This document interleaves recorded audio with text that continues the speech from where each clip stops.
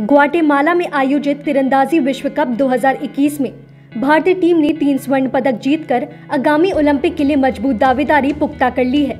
इस जीत के साथ एक बार फिर झारखंड के खिलाड़ियों का विश्व में जलवा देखने को मिला।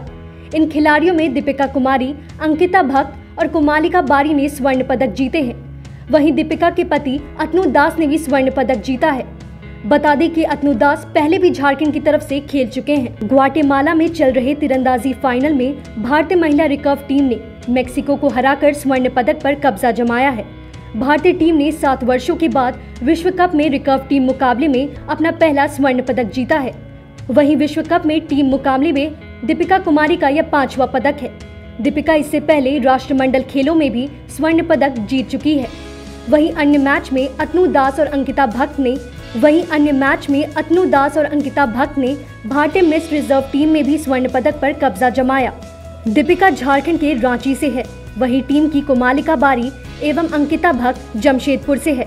इसी के साथ टीम की कोच पूर्णिमा महतो भी झारखंड से ही है।